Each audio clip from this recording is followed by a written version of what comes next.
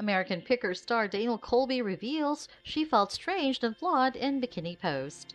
45 year old American Picker star Danielle Colby recently unfolded her insecurities when Frank Fritz was fired.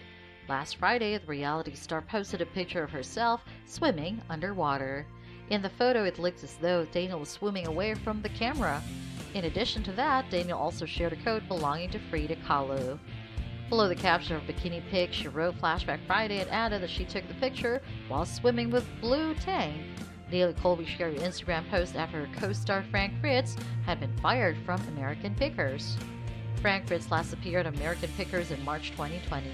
Last year had taken some time off to recover from his back surgery. After the surgery, Fritz was left with 185 stitches as well as two rods placed on his spine. During his recovery period, Fritz lost a total of 65 pounds. His decision to cut alcohol has also played a role in his weight loss. According to The Sun, Fritz spent 77 days in rehab to help him recover from his alcohol addiction, and now he's confirmed to be about 11 months sober. Before he was fired from the reality show, Fritz admitted that he really wanted to get back to the show.